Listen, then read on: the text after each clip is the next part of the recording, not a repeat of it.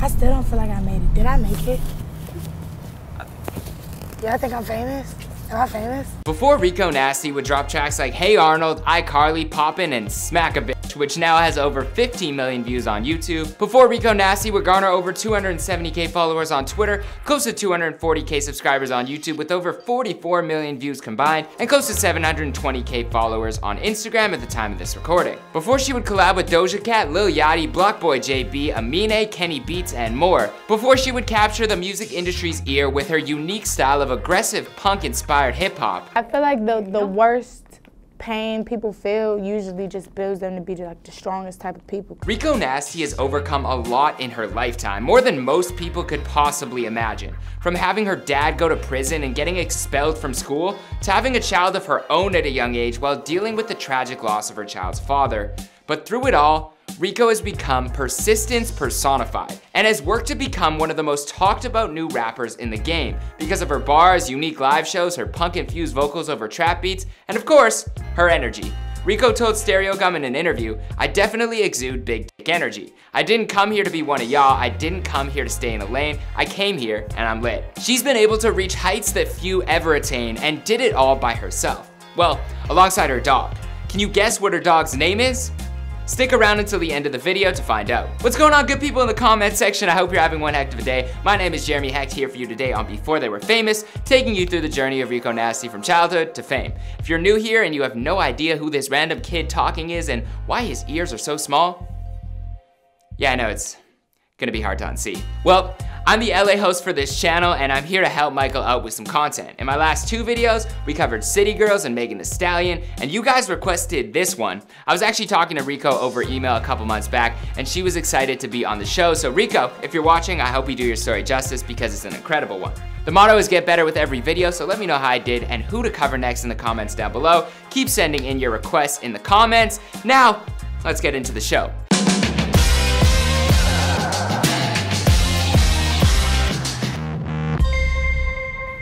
Be sure to subscribe and hit that bell. Boom!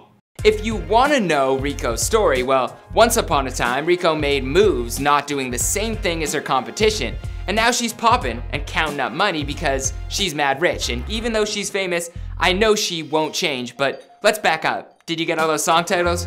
Rico Nasty was born Maria Cecilio Simone Kelly, hope I pronounced that right, on May 7, 1997 in Brooklyn, New York, but when she was very young, she moved to the small town of Largo, Maryland. She told Fader, Largo has nice homes and black owned businesses, but it gets rough real fast. From one street to the next, it can change. Rico's mom works for the government in a cybersecurity sector, and her father was actually a rapper himself named Beware, and even went on tour with Jadakiss at one point. Rico says of her father's lyrical ability, my dad is like the best rapper alive. How I got on the radio in my hometown actually, like my dad is friends with him and he remembers when I was a little baby, used to ride around in a radio truck. So music has always been a part of my life. Her dad doesn't release music anymore, but continues to write to ease his mind. Unfortunately, her dad went to jail for a year when she was just 15 and was then sent back for an additional two years, but not before he inspired Rico to perform around the house.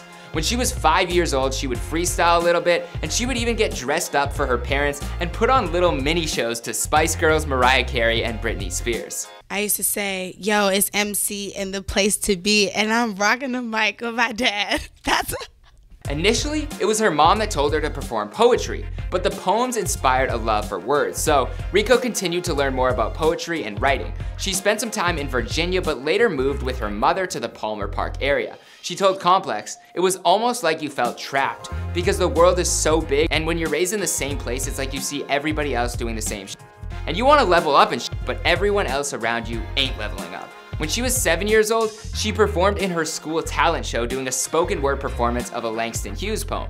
And although she lost in the competition, it inspired her to want to become a famous rapper one day. Due to a drop in her grades, her mom sent her off to a boarding school in Baltimore for high achieving disenfranchised students, where she attended the sixth grade. She would bus home every weekend to spend time with her family, but that same year her parents divorced. Rico had trouble dealing with the transition period into a new school as well as her parents split, which led her to selling weed, skipping school, and eventually she was expelled from boarding school after being caught smoking weed at a campus bus stop. Rico says that she didn't even know how to use a lighter at the time, and not to snitch, but the kid who invited her outside to smoke Well, his name was Martinez. And that's not the only incident of trouble that Rico got in. I had this one teacher. I just, I don't know what she said to me. I just know I was having a bad day. And I remember I really like trashed her class. Like I low key like threw shit. Hey, at least she apologized and now that teacher has a whole bunch of clout. Sorry, Sorry, Miss Miss Robinson. Robinson. Not sorry. And while she wasn't very focused on most of her classes, Rico loved art class and she would even skip some of her other classes just to sit in on other art classes. She was so talented with the paintbrush that she was even able to become a TA in art class. Rico returned home to attend Charles Flowers High School, but didn't feel like she fit into the already formed groups at the school, so she became somewhat of a loner. Some of the kids held resentment towards her for leaving to go to private school, and she says she even got bullied for being different. I was like weird on purpose, I wanted to be an outcast. If I knew all this shit was gonna be a trend, bro, let's get hella dark. If being weird was cool back then, I would have never had to get these tattoos, I would have never tried to hurt myself. I was so hard on myself on everything. My hair is too short, my hair is too big, I'm too fat. I went through a lot of issues. But she says that if she didn't go through all of that, then she wouldn't be where she's at today. One of the few people who she connected with though was her mom's best friend's daughter named Stephanie who showed her anime including Fruits Baskets, Naruto, Dragon Ball Z, and Hello Kitty. She also started listening to metal and emo bands like Slipknot and dressing differently from her peers. She was influenced by listening to bands like Led Zeppelin, Red Hot Chili Peppers, Sex Pistols, Death Cab for Cutie, Pink Floyd, Paramore, and wanted to learn more about all of her favorite artists. It just made me want to learn more about music, which led me to being a musician. And the punk sound can definitely be heard in her music. She also says that she was influenced by Kanye West, Bob Marley, Joan Jett, and DMV artist Big Flock. And during some of her darkest periods, she was listening to The Smiths. As for her dream collabs, she said it would either be Rihanna or Juice WRLD. But the first concert she ever attended was a Chris Brown show when she was 10 years old. And she says a young Christopher actually pointed at her. It was in high school that she would start spitting bars though. And the first rap song she ever wrote was actually a diss song. It's a little bald headed. and it, nah, she really was bald headed. She really blew the shit out of me. She said I was piss complexion because I'm yellow bone. Oh, wow. Yeah, yes. The track actually almost got Rico suspended from school. The school administration tried to make her take the song off the internet, but she defended it with her freedom of speech, good call. The idea of music came to her in the 10th grade when she was listening to a bunch of different types of music, including what she describes as chill wave songs with no lyrics. So she ended up rapping over those songs to start. She released her first mixtape called Summer's Eve in the 11th grade, and that was also the first music that Rico's father heard of hers. He was recently released from jail after close to a two year stay behind bars. She recalls he started crying while listening to her rap and she started crying watching him get emotional. He told her, I can't believe while I was gone this wasn't something that I had to instill in you. It was something that you just had. I didn't have to coach you, I didn't have to find you a studio, you just had the hunger to go and record like any artist. My parents have only been to one show each and they weren't there at the same time. It was like my dad went to one show, then two months later my mom went to one show. In terms of her mom, She wasn't happy about me rapping. She was just like, um, all right, well, look, you can't be a corny ass bitch. But when she finally heard the mixtape, she actually really liked it. The only thing she told Rico was that she had to curse less. Her first ever show was actually organized by her mom, but Rico's mom told her that she had to promote the show herself, and after not taking the promoting gig seriously, Rico showed up to the venue, and there were only 15 people there. And they were all her family. But when I was up there and I was performing, I didn't care that it was just my family. I was like, fuck it, like, it. I once did a performance in front of five people and four of them were my family, so I know how you feel. She decided that her next show would not be like that. She went home the next morning, started writing, feeling more motivated than ever. Her next show that she threw herself was sold out. At first, her parents didn't believe that she could accomplish the goals she set out to reach, but once she started climbing higher and higher, and as she said, once God started working for her, her parents finally believed in her vision. Rika was taking music more seriously and gaining some support, but right after graduating from high school at the age of 18, Rico had her first child, Cameron. Tragically, the baby's father died before he ever knew Rico was pregnant. Her first tattoo was even in honor of him, replicating a crescent moon and stars that he had. She placed a symbol behind her right earlobe. Rico talks about him on the song Brandon, and in an interview with Stereogum, she says, My boyfriend who passed, we used to sleep together and I would be behind him, and he'd have that tattoo. It's just everlasting love to me. Nothing made me happier than me waking up in his house and his mother cooking breakfast, looking at my phone with text messages of my mom telling me, bring your ass home. Nothing's more reminiscent of those times. After he passed away, understandably, Rico fell into a state of depression and started skipping school. She didn't know what to do with herself and she almost didn't end up graduating. She even stopped making music at one point. I was sad because all the people who used to tell me to dream big started telling me to settle. Eventually, after graduation, she took a job as a receptionist at a hospital, hoping to gain experience in the field with the goal of later becoming a pediatrician. But she told Noisey that being exposed to so much death and illness made her rethink her life's purpose. That question gave her the inspiration she needed to pick back up her pen. When her son was around 10 months old, she started rapping again. She says if she wasn't rapping that she would probably be feeding the dolphins at the aquarium. When she was 19, she started smoking a lot more and says it helps with her creativity. She knew that she needed to provide for her family and felt that rap was her best chance to do so.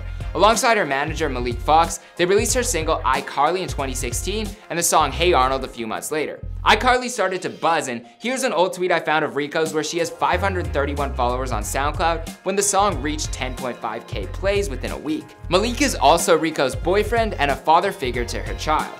After DMing her on Twitter, on their first date, Malik felt Cameron's kicking in Rico's belly. I feel like any woman in a good relationship, you just feel like you be flourishing and shit. Like he just be loving you so hard, and you just be wanting to like live your best life. She went hard with music, dropping two tapes in 2016 called The Rico Story and Sugar Trap, which helped push her name into the mainstream public.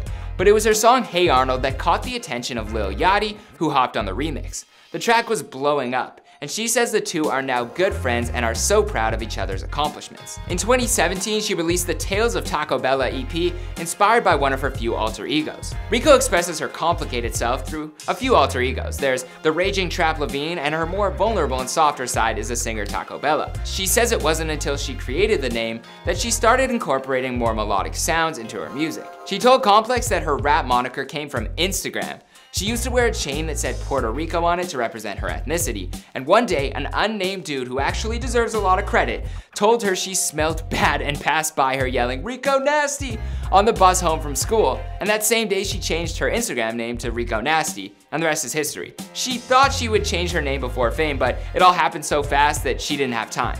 But in June of 2017, she would reach new heights with her song Poppin', which garnered over 4 million views on YouTube and landed in the lap of Issa Rae, who placed the song on season 2 of her HBO smash show, Insecure. She told Complex, like everything else, I have to believe it when I see it. I was like, okay, I'm sure it's gonna be on there, like, what the fuck ever. And then, sure enough, it was on there. She later met Issa, who was actually really excited to meet her too, telling Stereogum, that was like two levels underneath Michelle Obama saying hi to me. Like, when we're talking black female role models, she's got her own show that's called Insecure, and it's about embracing your sexuality as a black woman. The song was a part of her mixtape Sugar Trap 2, which also included Key Lime OG, which is Rico's son Cam's favorite song. The tape received critical acclaim with Rolling Stone placing it on their best rap albums of 2017 list. In June of 2018, Rico signed a deal with Atlantic Records and released her label debut mixtape, Nasty. She says with her first check, she bought her kid a bunch of toys from Toys R Us. She's a good mom. She says since her success, she's gotten lonelier and doesn't have many friends in the rap game. I don't have enough time for friends. It's crazy because I love